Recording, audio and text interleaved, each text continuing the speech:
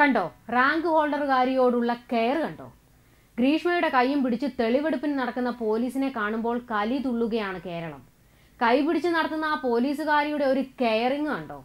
Tour പോകുന്ന ലാഘവത്തോടെ. പിരിപോയത് അവൾക്കോ പോലീസിനോ? വലിയ വിമർശനം ഉയരുന്നു ഒരു കൊലപാതകിക്ക് ഇത്രയും സ്വീകാര്യത കിട്ടുന്നത് ഇത് ആദ്യമാണ്. ഇതെന്തോന്നട ഇതെന്ന് ചോദിക്കുകയാണ് ഡോക്ടർ അനുജ ജോസഫ്. അനുജയുടെ കുറിപ്പ് വൈറലാകുകയാണ് ഈ കുറിപ്പിന് താഴെ പോലീസിന് പൊങ്കാലയാണ്. ഗ്രീഷ്മയുമായി നടത്തിയ പോലീസിന്റെ തെളിവെടുപ്പിനെതിരെ വ്യാപക വിമർശനമാണ് ഉയരുന്നത്. കഴിഞ്ഞ ദിവസം ഗ്രീഷ്മയെ കൊണ്ട് പോലീസ് ഉദ്യോഗസ്ഥർ വെട്ടുകാട് പള്ളിയിൽ പോയിരുന്നു. കളിച്ച് ചിരിച്ച് ടൂർ പോകുന്ന ലാഘവത്തോടെയാണ് ഗ്രീഷ്മയും പോലീസുകാരും ഉണ്ടായിരുന്നത്. ഇതിന്റെ വീഡിയോ സോഷ്യൽ മീഡിയയിൽ വൈറലായിരുന്നു. ഒരു പോലീസ് ഉദ്യോഗസ്ഥ ഗ്രീഷ്മയുടെ കൈ പിടിച്ചുകൊണ്ട് നടക്കുന്നതാണ് വീഡിയോയിൽ കാണാൻ പറ്റുന്നത്. ഒരു കൊലപാതകിക്ക് ഇത്രയും സ്വീകാര്യത കിട്ടുന്നത് ഇതാദ്യമാണ്. ഇതെല്ലാം തന്നെ വലിയ വിമർശനങ്ങൾക്ക് കാരണമായിരിക്കുകയാണ്. ഇപ്പോൾ ഇതിനെക്കുറിച്ച് പ്രതികരിക്കുകയാണ് ഡോക്ടർ അനുജ ജോസഫ്. അനുജ കുറിച്ചിരിക്കുന്നത് ഇങ്ങനെ. കൈപിടിച്ച് നടത്തുന്ന ആ പോലീസുകാരിയുടെ ഒരു കെയറിംഗ് കണ്ടോ? തെളിവെടുപ്പിനെന്നും പറഞ്ഞ് ടൂർ പോകുന്ന ലാഘവത്തോടെ ഇവളെയും കൊണ്ട് നടക്കുന്നവരുടെ നല്ല മനസ്സ് ആരും കാണാതെ പോകരുത്. She smart. അവൾ റാങ്ക് ഹോൾഡർ. പിന്നെ ജ്യൂസ് കലക്കലിൽ ഒന്നാം സമ്മാനവും വാങ്ങി വന്നേച്ച് നിൽക്കുക ആ തെളിവെടുപ്പ് വീഡിയോ കണ്ടിട്ട് ഒരു പിരി പോയത് അവൾക്കാണോ അതോ കൂടെ നിൽക്കുന്ന നിയമപാലകർക്കാണോ എന്ന സംശയമില്ലാതില്ല. അനുജ ഫേസ്ബുക്കിൽ കുറിച്ചു. തീർന്നില്ല. അഞ്ജു പാർവതി പ്രബീഷിന്റെ ഫേസ്ബുക്ക് കുറിപ്പും വൈറലാണ്. അതിൽ കുറിച്ചിരിക്കുന്നത് ഇങ്ങനെ.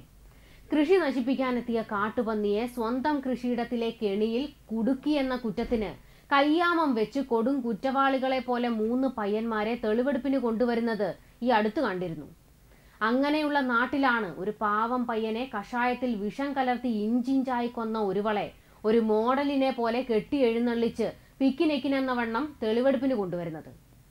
ഒരു മർഡർ കേസിലെ അവൾ എന്നാൽ അവൾക്ക് വിലങ് അണിയിച്ചിട്ടുണ്ടോ? ഏ ഇല്ല. കാരണം അവൾ റാങ്ക് ഹോൾഡറും സ്മാർട്ടുമാണല്ലോ. ശരി എന്നാൽ പ്രതിയുടെ ശരീരഭാഷയിൽ കുറ്റബോധമോ പോലീസിനെ പേടിയോ അങ്ങനെ എന്തെങ്കിലും? ഏയ് എന്തിന്? പോലീസ് മാമന്മാർക്കൊപ്പം കൊഞ്ചിയും ചിരിച്ചും ടൂറിന് വന്നവൾക്ക് എന്ത് പേടി? എന്ത് റിഗ്രറ്റ്? കാരണം പോലീസ് ഭാഷയിൽ അവൾ ബോൾഡും ഫൈനുമാണല്ലോ.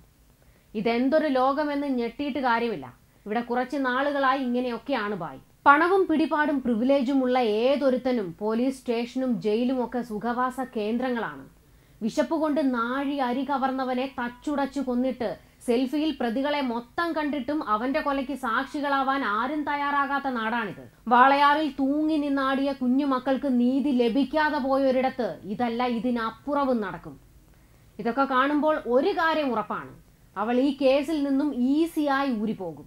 ഒരു ക്രിമിനൽ നേടിയ റാങ്കും അവളുടെ സ്മാർട്ട്നെസ്സും ബോൾഡ്നെസ്സും മാത്രം കാണുന്ന കേരള പോലീസ് അവൾ നടത്തിയ കൊടും പാതകത്തിന് ഇങ്ങനെ പോയാൽ ക്ലീൻ ചിറ്റ് നൽകി ഊരിയെടുക്കും. ഇനി നാളെ വരുന്ന വേർഷൻ മിക്കവാറും ഇവൾക്ക് മനോരോഗമുണ്ടെന്നായിരിക്കും. ജ്യോതിഷവും അന്ധവിശ്വാസവും കഥ പാളിയപ്പോൾ സ്വകാര്യ ദൃശ്യങ്ങൾ കഥ വന്നു. അതും ഏശാതെ വരുമ്പോൾ മാനസിക രോഗം വരും. നോക്കിക്കോ. ഷാരോൺ എന്ന പാവം പയ്യൻ ഈ നെറികെട്ട ബോൺ ക്രിമിനൽ പെണ്ണിനെയാണല്ലോ ജീവന തുല്യം സ്നേഹിച്ചതെന്ന് ഓർക്കുമ്പോൾ വല്ലാതെ ഹൃദയം വിങ്ങുന്നു. ഒരു കണക്കിന് ആ കുഞ്ഞു പോയത് നന്നായി എന്ന് തോന്നുന്നു. ആശുപത്രിയിൽ നിന്നും പാതി വെന്തടർന്ന ആന്തരികാവയവങ്ങളുമായി ആ കുഞ്ഞ് ജീവിതത്തിലേക്കെങ്ങാനും മടങ്ങി വന്നിരുന്നുവെങ്കിൽ മനസ്സ് വെന്തടർന്നു പോയേനെ. ആശുപത്രി കിടക്കയിൽ പാതി വെന്ത് കിടന്നപ്പോഴും വാവേ എന്നെ മറക്കല്ലേ എന്ന് വിളിച്ചപേക്ഷിച്ചത് പെൺരൂപം പൂണ്ട രാക്ഷസിയെ ആയിരുന്നല്ലോ എന്ന തിരിച്ചറിവ് ആ കുഞ്ഞ് ആത്മ നിന്നുകൊണ്ട് ഇഞ്ചിഞ്ചായി എരിഞ്ഞേനെ. ഇത്തരത്തിൽ ഷാരോൺ കൊല്ലപ്പെട്ട കേസിൽ ഗ്രീഷ്മയ്ക്ക് പ്രിവിലേജ് കിട്ടുമ്പോഴും ഷാരോണിന് നീതി നിഷേധിക്കുമ്പോഴും വലിയ എതിർപ്പുകളാണ് ഉയരുന്നത്. ഒരു കുറ്റബോധവും ഗ്രീഷ്മയിൽ കാണാനാകുന്നില്ല. അവൾ ചെയ്ത കൊടും പാതകം എന്തോ മഹത് കാര്യം ചെയ്തതുപോലെയാണ് പോലീസിനോട് വിവരിക്കുന്നത്.